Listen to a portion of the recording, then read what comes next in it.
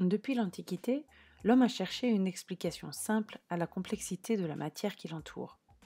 Aristote pensait par exemple que la matière était constituée de quatre éléments l'eau, la terre, le feu et l'air.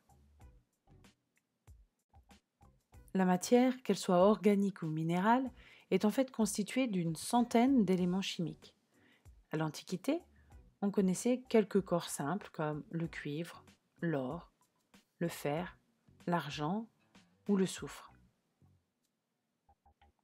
En 1700, seuls 12 corps simples, c'est-à-dire formés d'un seul élément, ont été isolés. L'antimoine, l'argent, l'arsenic, le cuivre, l'étain, le fer, le mercure, l'or, le phosphore, le plomb et le soufre.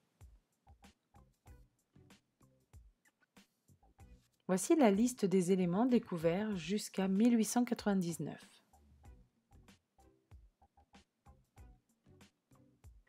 En étudiant les propriétés des éléments, les chimistes découvrent que certains d'entre eux possèdent des propriétés chimiques voisines. On les regroupe en triades. En 1808, l'anglais Davy étudie la triade calcium, strontium et barium. En 1818, il révèle les propriétés communes à la triade lithium, sodium et potassium. En 1817, le chimiste allemand Doberheiner suggère l'existence de la triade chlore, brome et. Au début du XIXe siècle, le savant anglais John Dalton introduit l'idée qu'à chaque élément correspond un atome caractérisé par son poids atomique. Il choisit arbitrairement le poids atomique de l'hydrogène égal à 1 et établit ainsi la liste des poids atomiques des éléments chimiques connus à l'époque. Dès 1814, Berzelius propose une notation à base de lettres pour représenter les éléments. Un chimiste russe, Dimitri Mendeleïev, passionné de chimie, s'intéresse aux propriétés des éléments.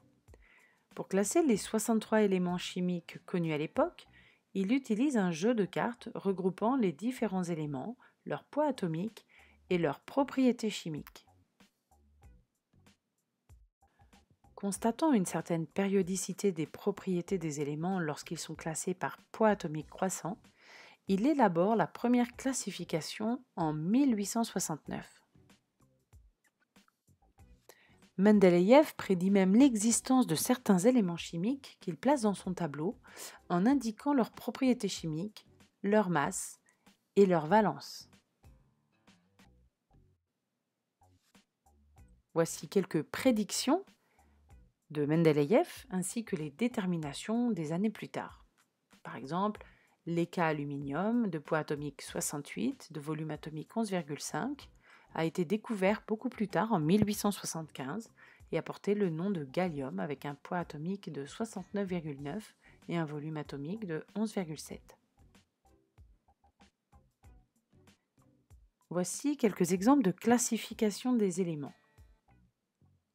Elles se sont succédées au cours des années, mais n'ont jamais été égalées par celles proposées par Mendeleïev.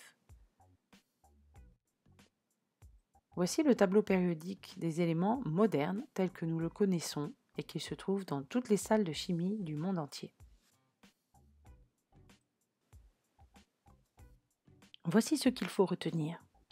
Depuis l'Antiquité, les hommes ont cherché à expliquer la complexité du monde.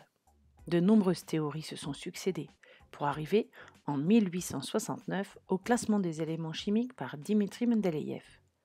Dans ce tableau, il classe les éléments par poids atomique croissant et place les éléments chimiques aux propriétés chimiques semblables dans des colonnes.